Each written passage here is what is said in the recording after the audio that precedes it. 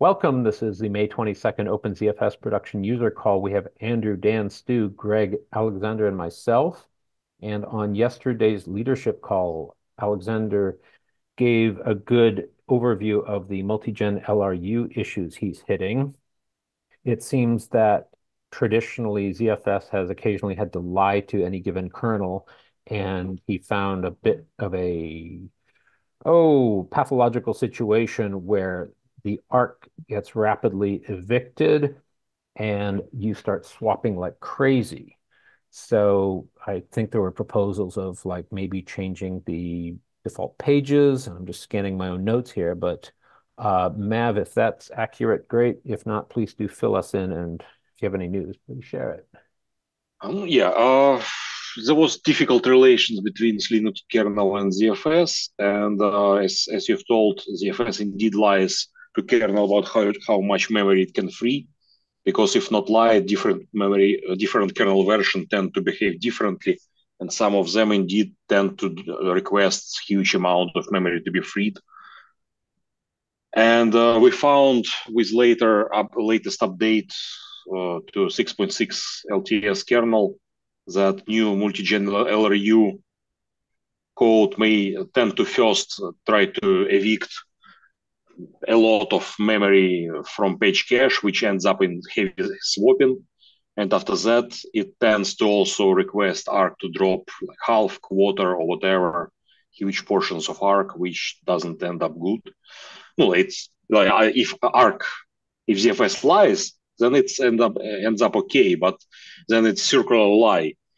Uh, kernel doesn't look what ZFS can free and tries to free more, and then ZFS survives only because it is lying. so hmm, that's that's not a like an infinite loop of permanent lies. That's not exactly clear how to get out of this mess. Uh, so yeah, in TrueNAS we disabled for now this uh, multi-gen LRU, and uh, that should help with swapping issue. Many people reported but I, I worry that by the end of the year, old code or at some point, old code may get dropped as soon as they decide that new code is stable. Uh, so it's still hard to say how to make ZFS interoperate with Linux kernel properly. Uh, at least previous code before multi-gen LRU was it was still unaware of ZFS, but at least it was trying to free memory in iterations and so it, that way it balances free memory between page cache and ZFS. It just asked each of them in one uh, one after another in a loop, give more, give more, give more until it gets enough. But new code so that multi-gen LRU tries to free all memory it needs in one go. So it first tries to do all by dropping page cache. When that appears not enough, it asks ZFS to, to again free everything I reported that, that issue to the multi-gen LRU developer, and he confirmed that uh, his relation to shrinker interface that's used by ZFS is wrong and proposed a patch, but that patch didn't fix swapping, so I don't know where it will end up at the end. Hopefully, he will think more about it, but I haven't heard more after that from him. Was there a motivation for the original changes in the multi-gen LRU code? What were they solving by changing that? Uh, they were trying trying to reduce memory allocation latency. Okay. Because our previous code doing multiple iterations, it spent a lot of time trying to free memory from different sources. While new code tries to directly estimate how much memory could be reasonably freed from page cache and drop it in one go. The ah. problem is that uh, on on any self-respecting NAS system, page cache is non-significant minority. And you can't get mem- much memory out of it. And they are not designed for that situation. So welcome yeah this is similar to a generational garbage collector uh, and the infant mort- mortality you can exploit?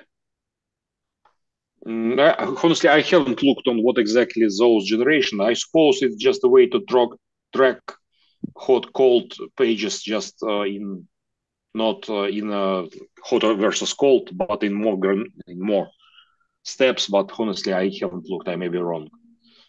I that wasn't my goal to look deep there, but. And Stu, have you bumped into this on your platform, or is that kernel too new for you? That is the next kernel we're going to be testing. So you're welcome. Thank you, Alexander. because yeah, uh, heads up. Okay, well, uh, it sounds like this, you're tracking that. Go ahead, Jan. Is this just a future development, or has any of that made it into 2.2.4? What development? Sorry. Are they backporting this? Is that what you mean? Or in, in OpenZFS? I, about the um, memory leak or? I guess the allocator, Jan, is that what you're referring to? Yes. Um, with the, basically, does anyone of that affect non-Linux platforms? Is there anything to watch out for there? Oh, that that, multi-gen multi-gen stuff is clearly all Linux. Uh, it's uh, it, it, it, it's not applicable to FreeBSD in any way. Uh, FreeBSD has different implementation, and uh, hopefully it's kind of uh, closer to what Linux did originally with multiple iterations. So it it works acceptably well. I was just, you, mentioned patch just uh, yesterday. speaking about FreeBSD, there was found memory leak uh, in ZFS. It's actually I caused it some time ago, fixing uh, some other issue, and yesterday I pushed a patch uh, to fix that leak. It's one liner, but uh, since we are somewhere very close in 14.1 release cycle, we may. It seems like uh, release engineering are not uh, happy to include it last moment. So we may release with, with that uh, memory leak, but then fix it with errata notice in a short while. How aggressive is that leak? Like, uh, takes hours to find or months to find? Probably very much depend on workload. Uh, it should happen only in situation when you write something into ZFS from memory which is not uh, mapped uh, at, at, the moment. Okay. I, am not sure how exactly that happened in production, but apparently, um, since people are reporting some leaks, it's probably it happens. But how wide? Yeah. FreeBSD should use unmapped uh, memory buffers anytime the block driver supports it, which is all the common SCSI and SATA controllers. No, no, it's, it avoids it's, having to shoot down the mappings uh, anytime you change the allocations? It's it's different layer. It's uh, more a relation to a map. For example, uh, the reproduction Mark Johnston provided, uh, thanks to him, uh, it's you just create a map of something without it touching it, so it's uh, it's not present in memory. You try to write from that a map into ZFS. ZFS try to access it, see that it's not there, return error, and then kernel maps those pages, repeat again to ZFS, but in the middle of that process, some allocations are le leaked by ZFS. Oh, okay. So that's completely different from what I assumed it would, was about the BIO unmap. No, uh, it's not related to BIO unmap. No, it's it's about page fault during Sorry, the not, writes. Uh, not yeah, not BIO unmapped. So that would be the trim support. No, uh, the the support in Amazon for having basically buffers which are in a range of address space which is only valid on the specific CPU, so that you don't have to keep the page tables uh, synchronized between CPUs and the and validate for TLB. Uh, but that's apparently not it either which is good to know because otherwise it would be relevant to every decent search controller. No, it, it's not that. Uh, I don't know how people reproduce it in production. I think I saw a report that some uh, build, world uh, may leak couple mm, couple blocks but I, don't know why couple um, such a weird number. But somebody else reported that he managed to leak like 10 gigabyte. I don't know just over how much, how long time. So it, it pr- probably it may depend. Uh, And Obviously, it's- reboot is uh, I you- actually uh, how it's how it is noticed if you have uh, enabled debug kernels that attempt to reboot after that panics signs ZFS can't free leaked memory. On attempt to unload ZFS module, it panics. But if you Hmm. have production kernel, obviously reboot will fix everything. It it won't be noticed. Okay. Any other development topics, Alexander? I Uh, I have one- Questions for Alexander? Yes, I heard someone chime in. Um, we we Um, often get Linux users telling us, "Hey, listen, this machine's always running out of swap, and why don't you just turn off swap and and let the system just run out of memory?" And that's Linux users on a FreeBSD host.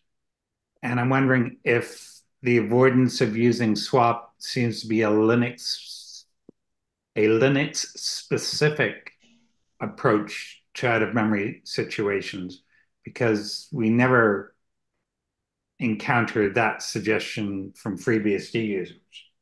And I'm just wondering the different approach No, to out of memory. Actually, speaking to that uh, issue, I talked first about multi-gen LRU. Disabling swap is the easiest way to fix the problem in production. It immediately solves the problem. Maybe not in the best way possible. Science, I guess, it will still heavily evict mm, page bucket, no, file bucket pages, but uh, it solves the problem. While no, Ah. I don't, re- I don't really like that approach. And even so, in next NAS version, aside of disabling multi-gen LRU, we will also going to disable swap. That was against my recommendation. I don't like that approach, but many, many people prefer having processes killed instead of swapped. Uh, which Yeah. TrueNAS scale, core, or both? Scale uh, Dragonfish.1, Okay, uh, 24 or you. 4.1. Okay. uh, On on core, we we suddenly slightly tuned to use swap later to not swap proactively. Science otherwise data lay on a swap are grow, and after that data that got into swap will stay there forever. So that's probably not uh, best behavior. Science at some point when we really need some memory after under some pressure, data are already laying on a swap. If they occupy all the swap, we get out of swap and then processes get killed. So we tune core you know, FreeBSD version uh, to actually not swap until it's uh, really necessary.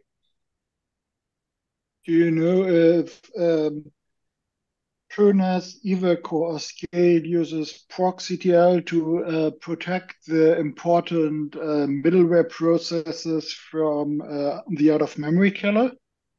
Or could it happen to you that their own management daemons get killed? Uh, uh, there is ongoing investigation how and what to protect. Yeah, that's I said we definitely should do at least that, but that's in progress. What sys controls or otherwise will allow you to protect applications from being reaped by the, I don't know, out of memory protections? I think, Jan, you touched on that, and Alexander, you uh, said, previously, it's uh, done via the proc control okay, system call. Uh, and there's a command line tool as well, which wraps some of the functionality of that system call. And I think on Linux, it's the same system call, just with different um, magic constants you have to use. Uh, from a different header, it's every not okay. sys, but Linux something to. But yeah, same thing basically. You have to have the permission to protect your address space up to a certain size from the out of memory killer, Cool. or you Um, can do something even more radical, which is to wire down all your memory, make make it completely unswappable, Hmm. and touch every page once. But that's not Do, a do general not purpose do solution. not do not do that above a 2.3.26 kernel. Oh, you No. learned the hard way.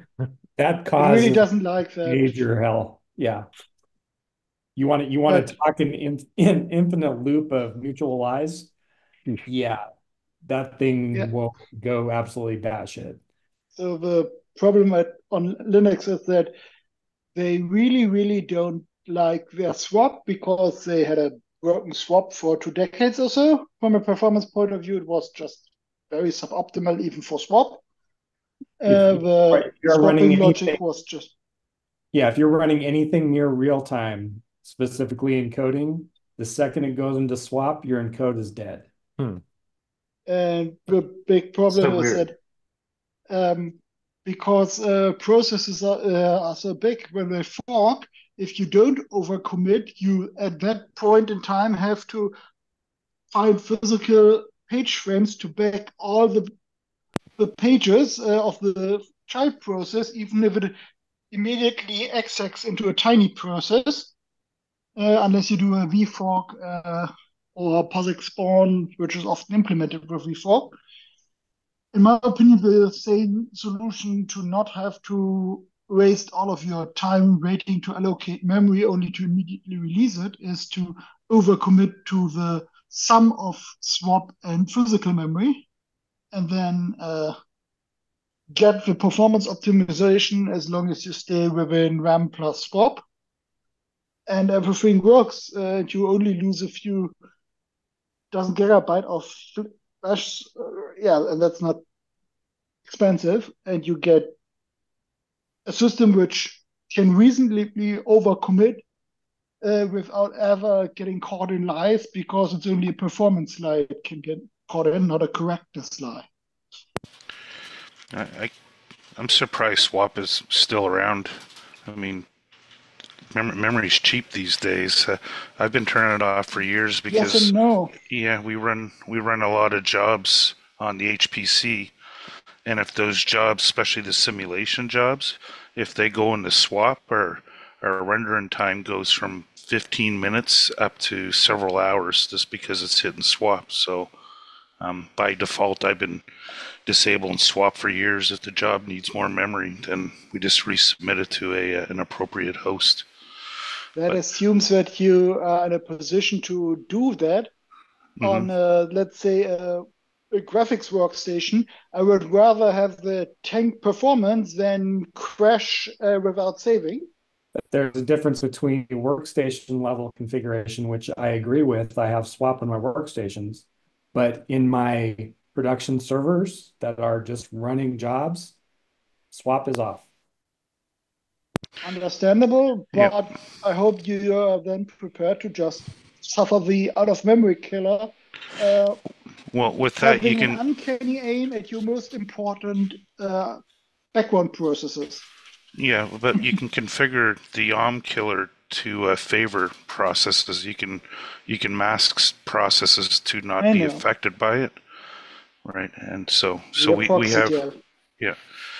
yeah, we have worked around the problem. Um, it will definitely start killing things, but we made sure that that sends an alert so we know that a, a machine's Or- under memory pressure. Or you could degrade gracefully by having a little bit of swap you normally really don't want to use. But let's say you're on your workstation, you spin up a virtual machine, and you really put the system on a high memory pressure, and for a few seconds, it has to page some things out, but everything will recover within seconds uh, to normal throughput. But again, that goes back to workstation workflows versus static workflows, server-based workflows. Di- completely different mentality in my mind. I'm, I'm assuming Greg is similar in that because we we do the same workflows of processing content, and that you know if one asset starts taking five times longer because of a 10k hit to swap, I'd rather restart that damn thing. Of course, if you have that kind of use case, it would totally throw off your tail latency and wreck all your performance statistics and the more services you have talking to each other in a microservice-like architecture, suddenly you're hitting your 99% percentile half the time because you're hitting so many API endpoints. And if you then have swap, and suddenly you swap is your expected default performance, and everything is horrible. But for something like a Poudriere build server, I would rather use swap than not, just because uh, I ran into a, a scheduling issue where it scheduled too many big jobs at the same time. I would rather have them suffer and the build server finish the repository build than just sorry uh, because of the way yep. the committers changed the ports tree now you get to start again uh let's try to keep it to zfs and production go ahead greg you unmuted perhaps no no i'm, I'm good okay. How's... cool, cool, cool. yeah yeah uh, any final Yeah. thoughts on swap and zfs systems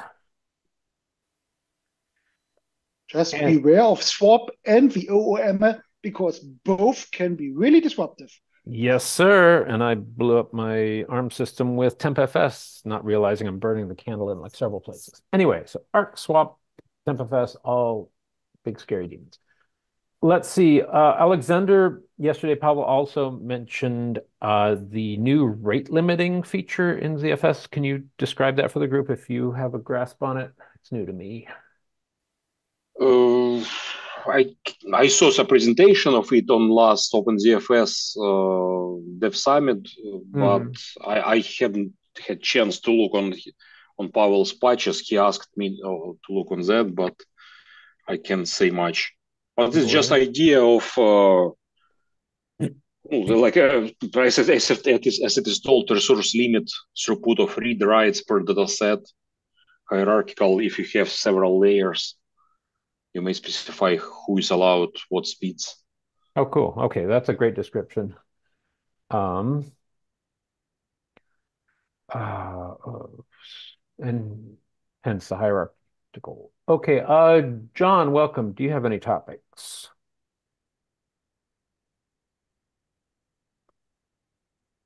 Same goes for Mark.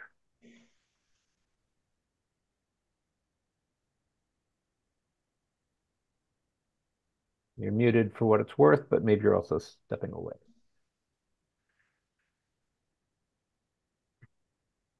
And to whom it may concern, there is a FreeBSD Enterprise working group meeting tomorrow, and I suppose all are welcome. I'll just drop that in. Ah, I'll put it in the chat here, but so it's in the Yes, chat. please.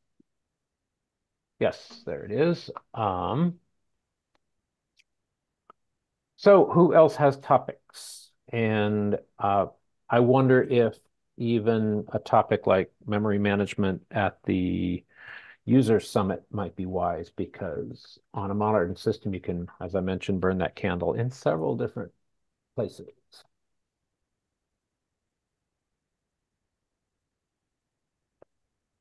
Then I will think Um, about. Alexander, Go ahead, uh, did your um, ZVol performance improvements make it into uh, FreeBSD 14.1, which includes OpenZFS 2.2.4? Yeah, I'm just trying to recall uh, which evil improvements do you mean?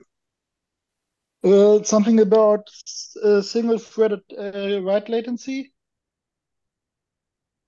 if I remember it correctly, which is what I would care about. Single threaded write latency. There was a lot of ZIL improvements uh, for some time ago, and those are all merged. Uh, ZVol, Nice. ZVol, I don't remember. There was significant ZVol refactoring on Linux, but it wasn't ported on FreeBSD science on FreeBSD. In at least in all our workflows where we care about performance, we have uh, vol mode dev, which bypass, which is practically all parallel. It doesn't need any task queues and so on. But if those, if there are people who use uh, vol mode not dev, yeah, there is potential space for improvement if uh, some code could be ported from Linux to FreeBSD to run a set of task queues, balance between them. Because right now FreeBSD in uh, vol mode geo mode uses potentially only one thread per zvol, one, one task queue per zvol. What would happen when you wrap the vol mode dev with an uh, MD device? Or does uh, MD uh, config still refuse uh, to use VNode mode for anything but normal files? Um, the wall around MD device, oh, MD device around the wall, and uh, what would be what would it be? To turn it into a uh, GeoM provider by going through the MD driver. Hmm. Ah, no, then you wouldn't need the wall. You could put an MD on top of file. Uh, yeah, okay, that's also true. So the wall itself can be either uh, like GeoM provider, or it can be almost like file just lying on DevFS, depending on your uh, use case. If you use gonna use it as a block layer through CTL or with with uh, bhyve as VM storage, you can switch it into vol mode dev, and then just GeoM will not care about it, and multiple threads of CTL will work directly and efficiently with it. And uh, we, you know, in, in TrueNAS on Linux, we implemented right now the same behavior. It's uh, just there. Uh, it's a bit a bit diff- difficult to. You know, it's it's slightly different. That's why it uses multiple may, may use their potential multiple task queue threads. It's, slightly different designs, but some ideas from there could be ported to FreeBSD potentially.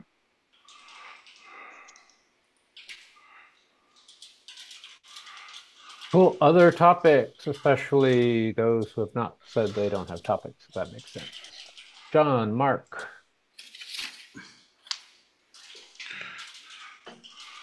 If not, I'm happy to call it. So speak now or forever hold your peace.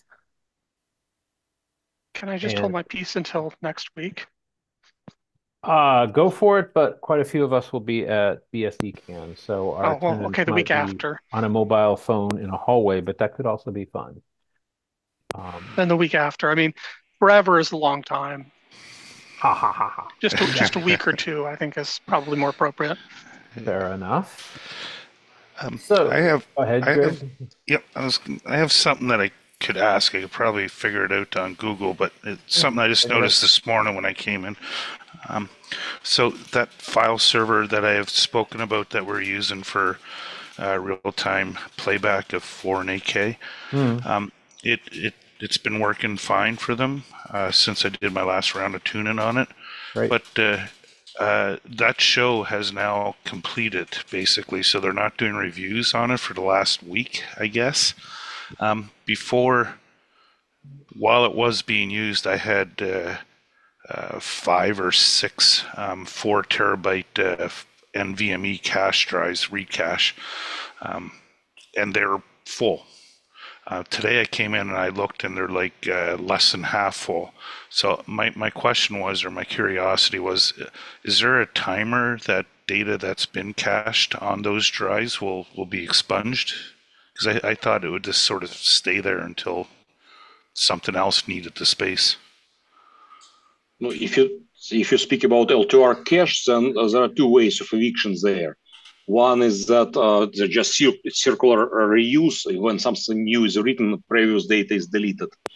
And the other way is if you delete something from your pool, uh, when some, uh, and then Arc receives signals that some blocks are gonna be deleted, the data also can be deleted from L2Arc. Okay, so that must be it because we had a full file system on there for a while. Um, and we bought more storage and I was moving all the data off of it onto the new storage system. So I guess that data that I deleted was consuming space in the ARC, L2 Um, yeah. Yeah, hmm. okay. Nice description. Go ahead, Jan. It's been a while since I really used uh, L2 ARC uh, devices in anger. but back then it was an issue that basically you had to manually tune it to your exist workload and hardware uh, so that it wrote fast enough so that you basically caught the the interesting parts as they get evicted from Arc and build the devices after a re uh, reboot in a reasonable time, but not so much that you uh, basically anger the firmware of SSDs.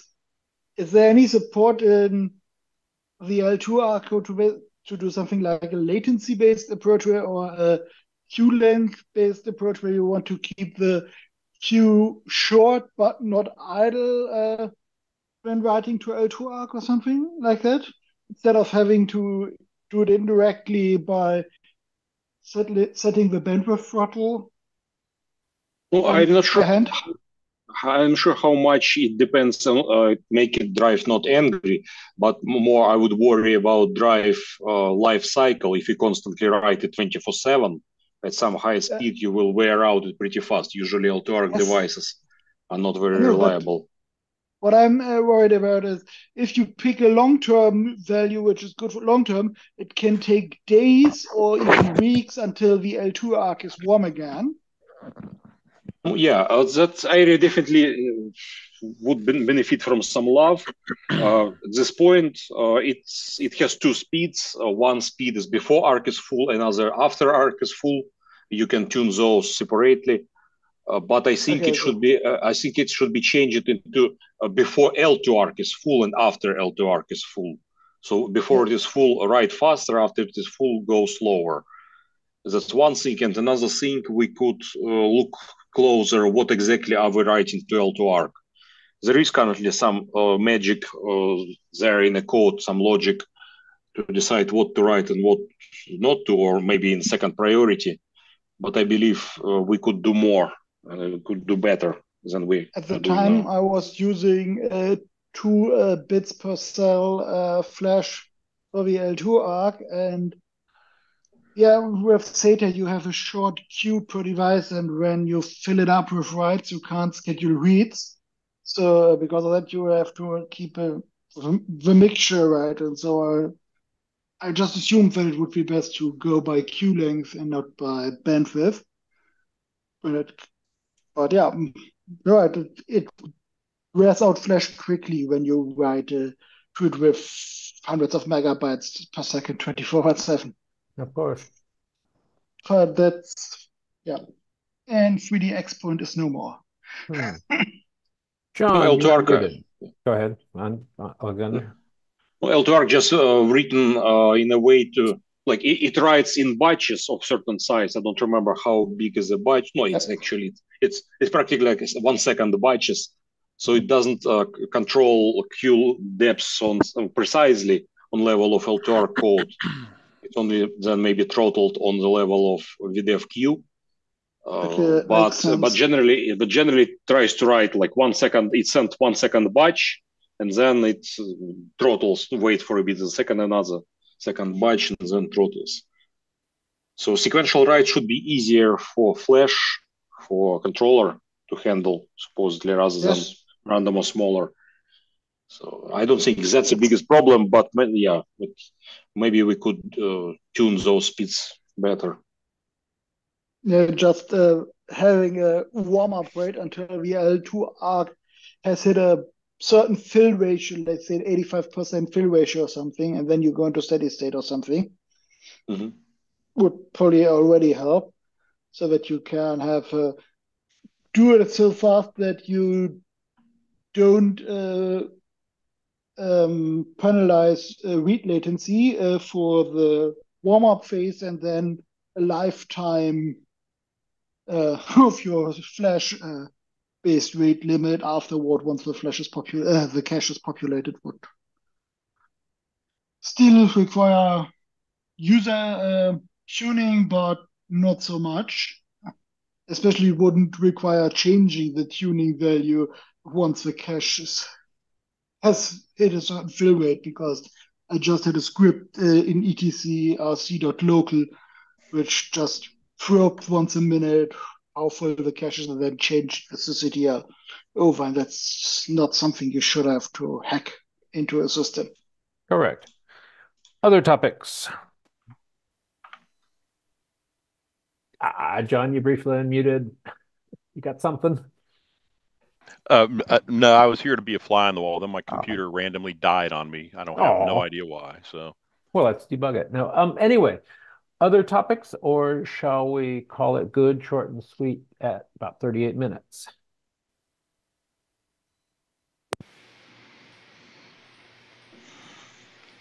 I'm good. Well, you are making a decision for us. Thank you all. Like and subscribe, and uh, talk to you perhaps next week during BSDCan. Antrenig can help co-moderate, but uh, we'll we'll play it by ear. Do you want to just cancel it for next week?